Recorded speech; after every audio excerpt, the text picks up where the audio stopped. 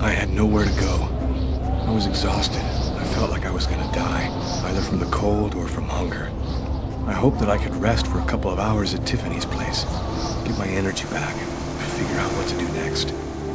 I'd only been to her new apartment once before. I only had a vague memory of exactly where it was, but I was sure that this was the street.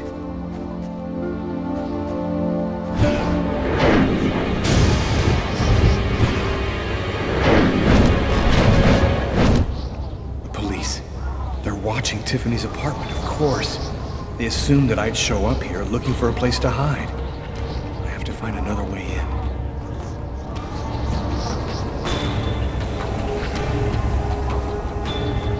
Another homeless person. I get the feeling they're everywhere. They're watching me. I must be getting paranoid.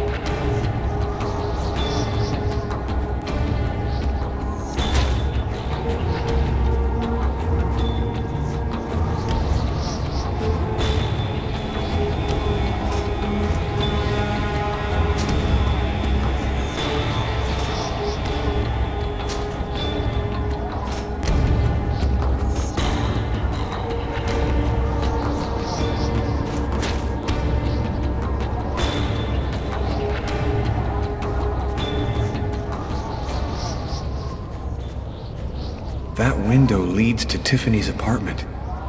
If only I could find a way to open it.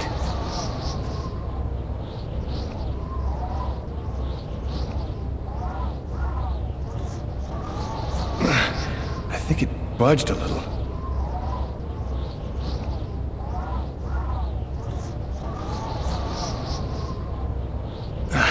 It's open a few inches.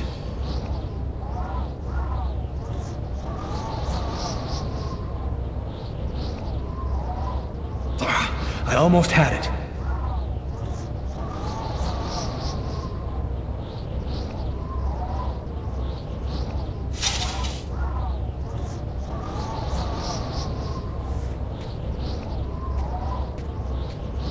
I wasn't too proud about breaking into Tiffany's apartment like a common criminal, but I had no choice. I hadn't eaten in almost a day. I was starting to feel weak and tired.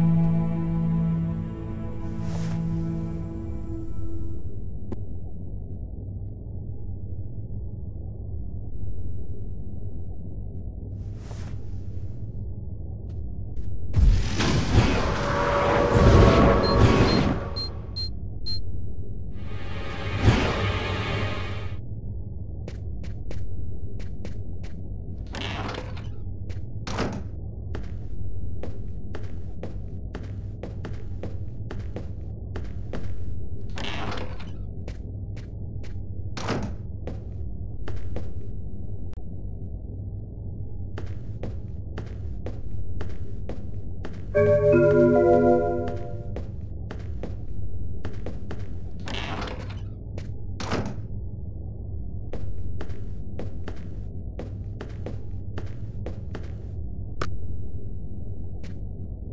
have one new message today at 1041.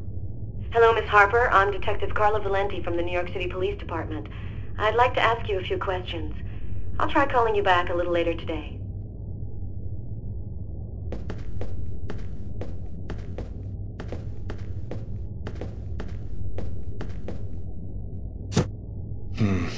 Nothing to eat here.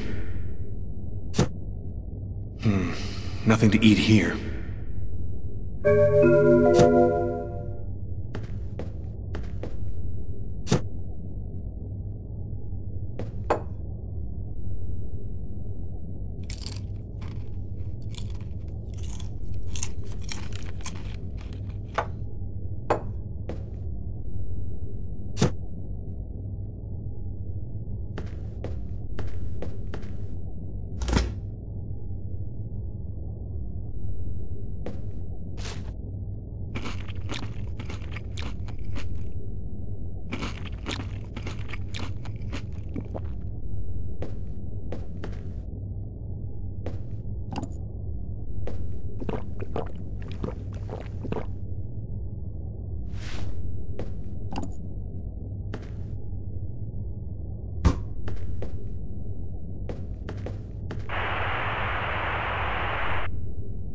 And for an expert's point of view on the subject, uh, we have with us today one of the most renowned specialists on Mayan civilization, Professor Dmitry Kuryakin of the Mesoamerican University here in New York. Uh, thanks for being with us today, Professor. You've written a fascinating book on Mayan rituals, and uh, I wanted to ask you if A specialist in Mayan civilization. He'd known what Kekteklan means. Gotta meet this Professor Kuryakin.